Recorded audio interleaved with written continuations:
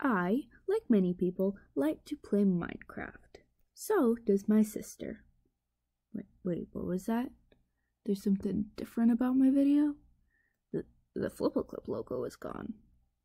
You're right, it is. No, I did not buy the full version. I upgraded to Krita on my computer instead. That means. This is much better, don't you think? Anyway, so whenever my sister made a new Minecraft world, it would always spawn her into one biome. I don't know what it's called, and I'm too lazy to look it up, but it has the dark oak trees and giant mushrooms everywhere.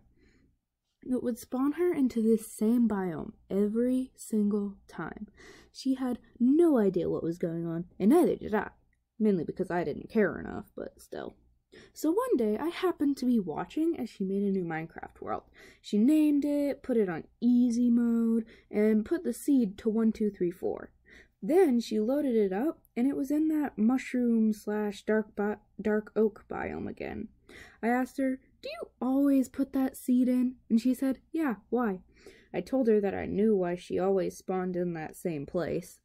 Basically, she didn't know what the seed did, so she just always put in one, two, three, four, which is that one mushroom slash dark oak biome.